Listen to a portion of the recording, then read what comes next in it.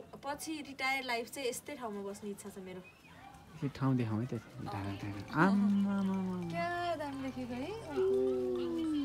Light बलेपछि त झन् के राम्रो हुने हो।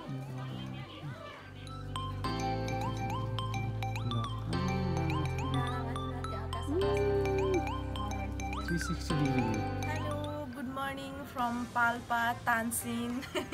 यति भन्दा नै मलाई एकदम खुसी मिलिरहेछ किनभने श्रीमान जन्मेको जन्मेको त होइन पढेको हुर्किएको स्कुल गएको सबै मेमोरी जोडिएको आफ्नै ठाउँमा अब म एकदम हुन्छ नि एकदम एकदम इमोसनल भइरहेको छु बिहान बिहानै देख्दा पनि।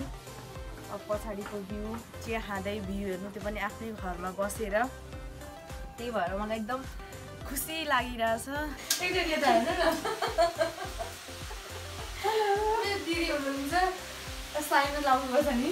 भाउजू भन्न पाए हुन्थ्यो जस्तो लाग्छ क्या मलाई असिमले भाउजू भनेको सुन्दा। भाउजू भन नि त। के भयो किन जेठानी दिदी भन्नुपर्ने अनि असिमले चाहिँ भाउजू भन्नुपर्ने त्यही त तिमीले आजबाट भाउजू भन साँच्चै? साँच्चै। किन भन्नु न मेरो घरमा भाउजू नै हुनुहुन्न क्या? मलाई भाउजू भन्न कस्तो मन लाग्छ। मलाई दिदी भन किनकि मेरो दिदी बहिनी छैन नि त। हजुर एक्लै हो। म एक्लै त हो नि त्यही भएर मेरो बहिनी धर्म सङ्कट पनि हस्पिटल नै ल यहाँबाट भयो स्थान मन्दिर पुग्न कति टाइम लाग्छ लाग्दैन आधा घन्टा ए स्कुलमा चाहिँ पनि लाग्दैन होला लाग्छ लाग्छ आधा घन्टामा पुग्ने त अब हामी मन्दिर जाने अनि मन्दिर गएर अब दिदी स्कुलमा पढाउनुहुन्छ अनि सरकारी स्कुलमा गाडी खानु गइहाल्नुहुन्छ पाल्पाको कति धेरै स्पेसल स्पेसल खानेकुरा छ हौ मोरङको के छ भनेर मलाई कस्तो प्रेसर परेछ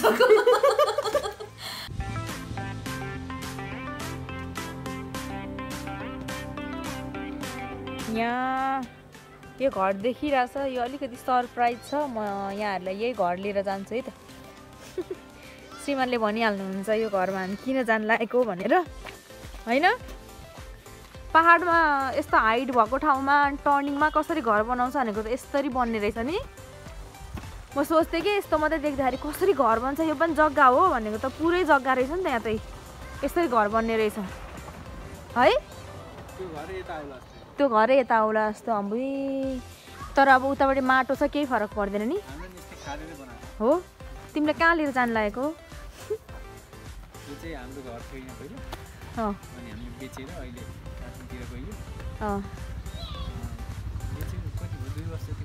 भएको छैन दुई वर्ष? हाम्रो बिहेभन्दा अलिक अगाडि बेचेको होइन? मलाई नि हेर्न इन्ट्रेस्ट लाग्यो मेरो हस्बेन्ड घर बसेको। होइन?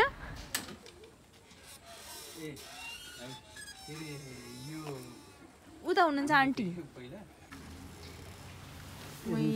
बुढा त इमोसनल हुनुभयो क्या हो। ए होइन इमोसनल के भन्नु हुन त तिमी त्यस्तो कुरामा समतामा बस्छौ होइन? ए पर्यो नि मलाई। यही हो बैठक हो? अनि यता किचन हो? यता चाहिँ दुइटा रुम छ। के मन पर्यो थाहा छ? यहाँभित्रबाट भर्याङ मन पर्यो क्या मलाई। यहाँबाट यस्तो भ्यू देख्ने रहेछ त्यही भएर। ए भ्यूहरू।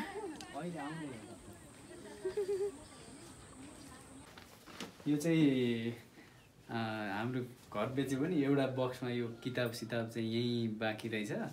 अनि मैले स्कुल पढ्दा नर्सरी क्लासदेखि मेरो एउटा सर्टिफिकेटहरू हुन्छ नि मार्कसिटहरू। यहीँ छुट्याएको थिएँ जस्तो लाग्यो। खुसी लाग्यो यहाँ चाहिँ भेटेँ कि मैले। जस्तो तिम्रो सर्टिफिकेट कि अँ, यो स्कुलको मार्कसिट के? असिम खनाल क्लास टू होइन? Grade two roll number six. नर्सरीदेखि नै छ। फाइभ होइन? एट क्लास देखि धन्न आइ आइएछ नि three class class three roll number eight अनि क्लास सिक्स होइन क्लास सेभेन हेरेर छ अरू त किताब कपीहरू पनि अलिअलि छ त्यो चाहिँ खासै अरू यहाँ कपी त्यो चाहिँ अब टुवेल्भ क्लास पढ्दातिरको कपी भेटेँ मैले अँ यो असिम खनाल यो anatomy and psychology of organism बायोलोजीको भयो है यो चाहिँ मुसाले खाएछ हेर न पुरै ए यो पनि बायोलोजीकै हो bronchi lungs breathing. Of pulmonary ventilation यस्तो हो। यो यो चाहिँ नि इङ्ग्लिसको यता मम्मीलाई आउँछ यो? मम्मीलाई आउँछ? ए ठिक छ त अब कुनै बेला। बाहरूको बिहे हुँदा त रेडियो छ। ए लौ। अब यो यहीँ बस्छ स्कुटरमा भएर लानु पनि गाह्रो छ। एकचोटि गाडीमा आउँदाखेरि गुडुङ गुडुङ पारेर लैजाउँला यो किनकि राखिदिनु भएको रहेछ। धन्यवाद। बिहेको बेला सम्झना हो नि त होइन। जीवनभरलाई हुन्छ कि सजाएर राख्नु? बाफ्रे कहिले बाहरूको बिहे भएको बेला अब होइन।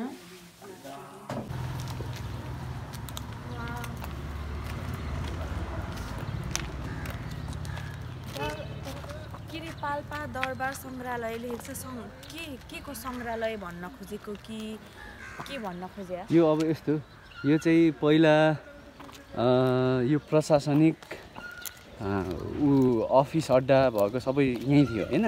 प्रशासनदेखि सबै कुरा यहीँ थियो। अनि यहाँ चाहिँ कति सालमा?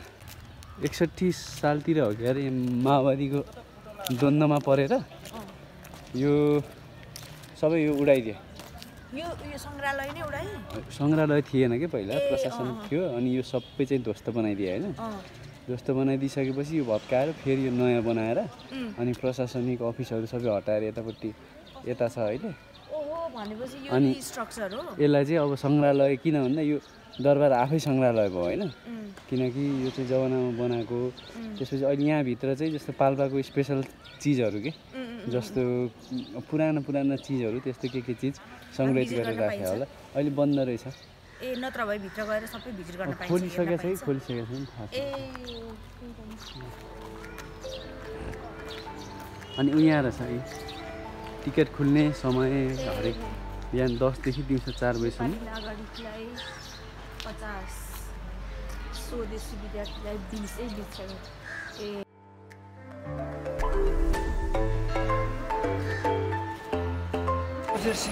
शमशेर बनाएको चाहिँ अब तपाईँको यहाँ माथि एउटा चाहिँ बाइस सय तेइस सय चौबिस सय राजा राजा भन्ने हुन्थ्यो नि। एउटा श्रीनगर डाँडामा रहेछ अनि अब कोटकोटमा हुन्थ्यो नि त पहिला त। अनि त्यही हुँदाखेरि यहाँ चाहिँ मेन चाहिँ यो दरबारमा राजा बसेको। अनि उहाँले चाहिँ तेस्रो मन्दिर पनि स्थापना गरेको यो चाहिँ यो गर्दाखेरि। यो राम्रो छ नि? यो अँ, राम्रो यो म चाहिँ लगाइहाल्छु एउटा अँ।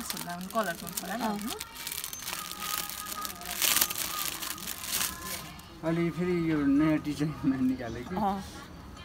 यो जता लाने हुन्छ होइन? जस्तो लाग्नुहुन्छ चुच्चो पऱ्यो त माथि। ए। त्यो टाइट गर्ने हुन्छ नि। अँ यो ठिकै लाग्यो ठिकै ठिकै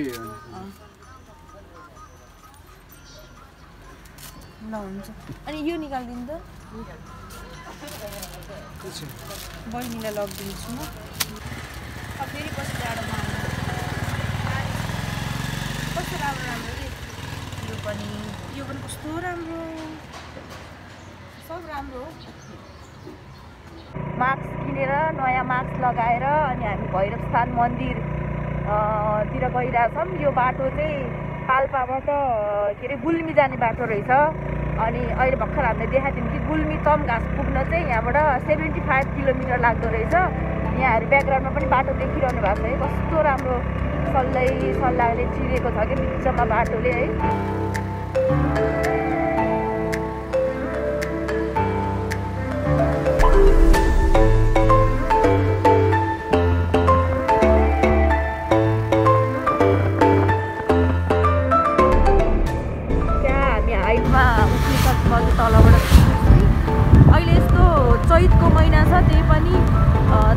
भन्ने के अरे गर्मी भन्ने त नामो निसानै छैन क्या।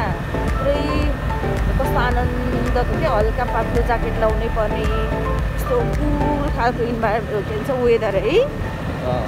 कस्तो राम्रो। हामी भैरवस्थान मन्दिरको गेटमा आइसकेका छौँ। स्कुटरमा गयो भने चाहिँ यताबाट डाइरेक्ट माथि पनि पुगिन्छ अरे। तर मैले चाहिँ यहाँहरूलाई पनि यो बाटो पनि देखाऊँ आफू पनि राम्रोसँग हिँड्दै हिँड्दै यहीँबाट एक्सप्लोर गर्दै जाऊँ भनेर यहीँबाट हिँडिरहेको छु।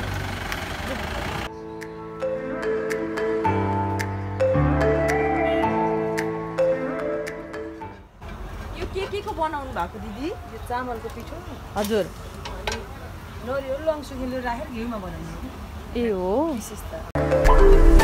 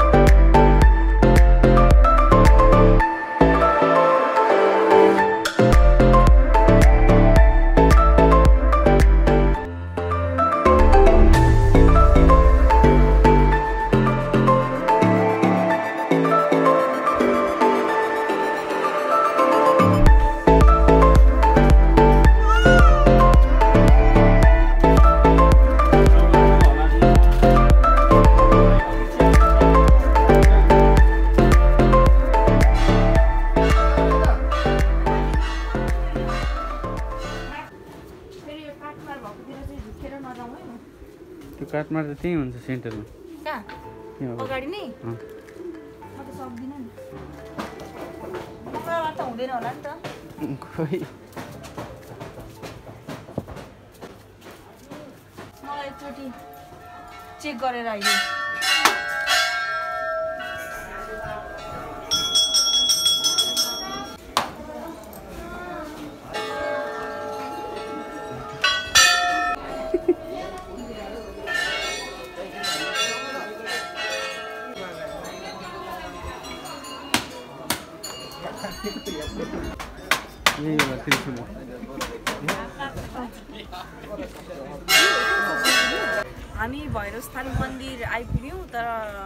म अहिले चाहिँ तल मन्दिरको सबै चाहिँ अलिक देखाउन असमर्थ भएँ किनभने मलाई यस्तो टेन्सन हुन्छ। काठमाड पनि चल्ने रहेछ। म त यता बाहिर बाहिर नै माथि माथि नै घुमेर अब हामी फर्किन्छौँ यहाँबाट है यो ब्याकग्राउन्डमा यहाँ त्रिशुल चाहिँ यो एसियाको ठुलो भन्ने हुनुहुन्थ्यो। हो कि होइन? अलिक इन्फर्मेसन हामी हामी हुँदाखेरि बच्चा हुँदाखेरि सुनेको यो त्रिशुल एसियाकै ठुलो भनेर। होला आजकल त केही छ त्यो भने ठुलो त्रिशुल रहेछ होइन? सबैभन्दा राम्रो त अब पाल्पामा भ्यू देखिहालिन्छ। मन्दिरै यस्तो राम्रो ठाउँमा छ।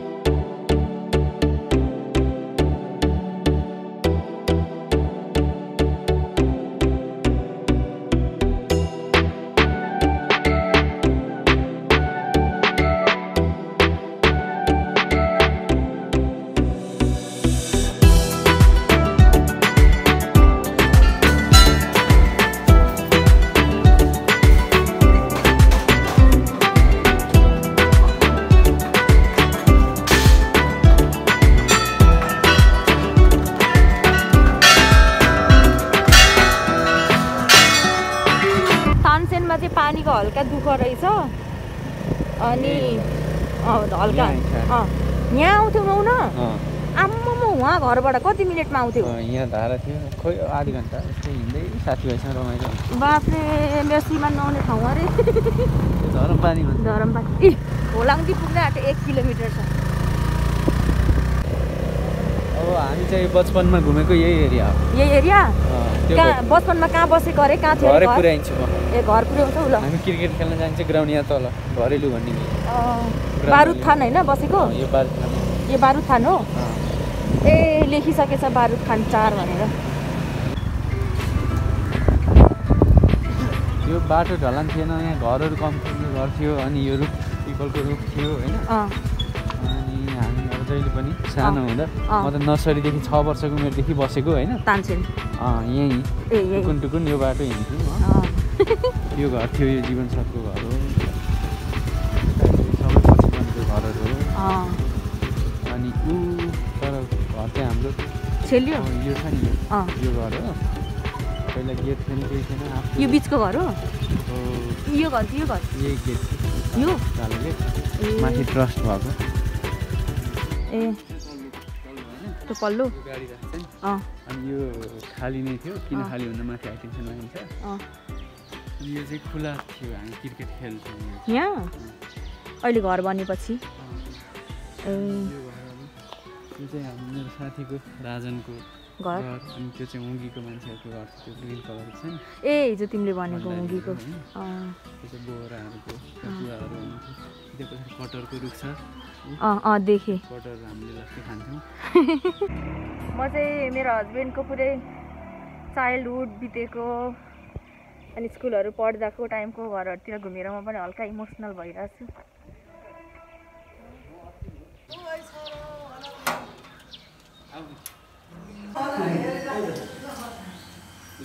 नमस्ते